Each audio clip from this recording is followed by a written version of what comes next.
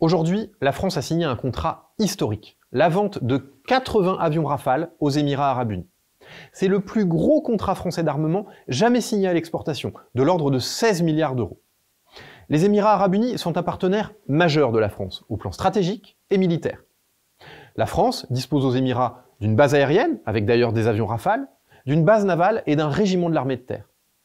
Les 700 militaires français stationnés aux Émirats ont joué un rôle essentiel l'été dernier lors des opérations d'évacuation d'Afghanistan. Depuis les Émirats, les forces françaises participent à la lutte contre Daesh au Levant et contribuent aussi à sécuriser les voies de circulation maritime. Et c'est particulièrement important car 30% de notre approvisionnement en énergie transite par le détroit d'Ormuz. Notre présence aux Émirats, c'est aussi une vigie sur l'océan Indien, et ce partenariat est un élément clé de notre stratégie Indo-Pacifique.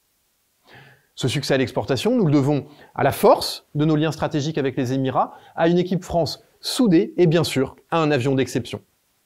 Ces 80 rafales seront livrés entre 2026 et 2031.